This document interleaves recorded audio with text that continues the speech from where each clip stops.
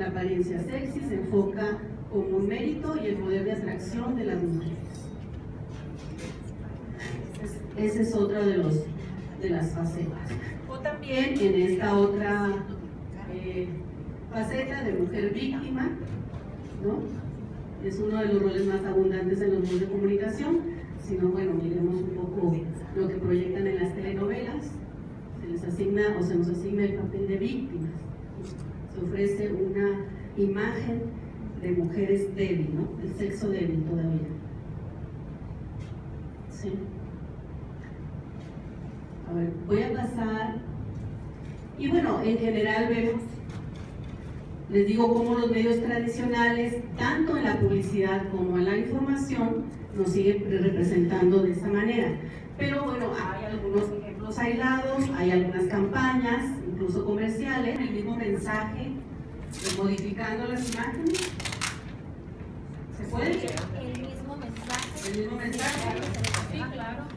Ah, anunciando los productos, anunciando los zapatos, pues poniendo los zapatos, ¿no? Por ejemplo. Pero este tipo de publicidad, digo, es una muestra muy pequeña, son las revistas, pero lo vemos en panorámico, lo vemos en los camiones, ¿no? Yo, yo venía viendo ahorita eh, eh, con una publicidad de, zapatos precisamente, donde a la chica se ve, se hasta, hasta la cintura, ¿no? Este, y sin embargo lo que anunciaban o lo que se anuncia son los zapatos. ¿sí?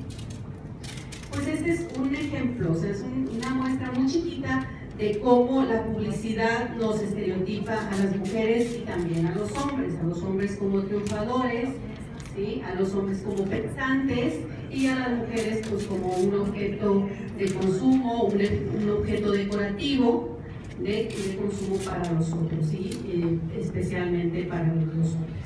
¿Y qué es importante y cuáles son los puntos de vista más relevantes en los medios de comunicación? Y por lo general, bueno, pues son, es la masculina. ¿Qué historia nos cuentan los medios en su tratamiento de la imagen de las mujeres? Colaboran a mantener una ideología patriarcal y el rasgo más persistente de esta ideología es precisamente la invisibilidad, nos dice otra de las expertas. En este monitoreo global, eh, México participa en el más reciente estudio por primera vez, antes no participaba, ya participa México, entonces las estadísticas que nos arroja ya está incluido nuestro país. Bueno, este misma, esta misma estudio nos dice que en los hechos es la ausencia de las mujeres en las noticias donde se encuentra el más poderoso e influyente de todos los estereotipos. O sea, el no estar nos está estereotipando, nos está relegando, nos está quitando importancia, nos está restando importancia. Las mujeres estamos invisibilizadas en los medios, cuando se trata de temas de interés político general, nos dice el estudio. O sea, la nota dura, la nota entre comillas importante, ¿no? Es donde no estamos las mujeres. No aparecemos como sujetas y menos como protagonistas de los temas que se abordan en general.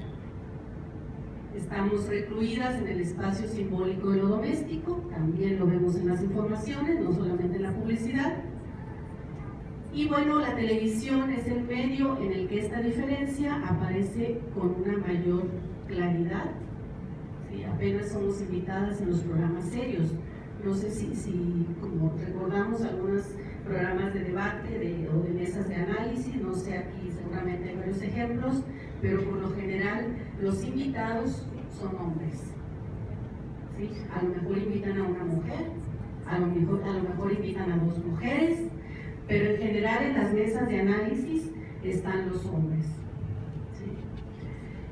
A menos que sean temas, por ejemplo, coyunturales, que ahora los medios, y eso también hay que decirlo, están volteando su mirada a, ver algunos temas de, interés social como es la violencia hacia las mujeres, y bueno, o el Día de, la, de, las Mujeres, propiamente el 8 de marzo, ahí bueno, cuando se hacen algunas mesas sí estamos más eh, mayoritariamente las mujeres, porque se considera otra vez que esos temas solamente nos interesan a las mujeres, aunque sean temas de interés social. ¿Quieres decir algo? Sí.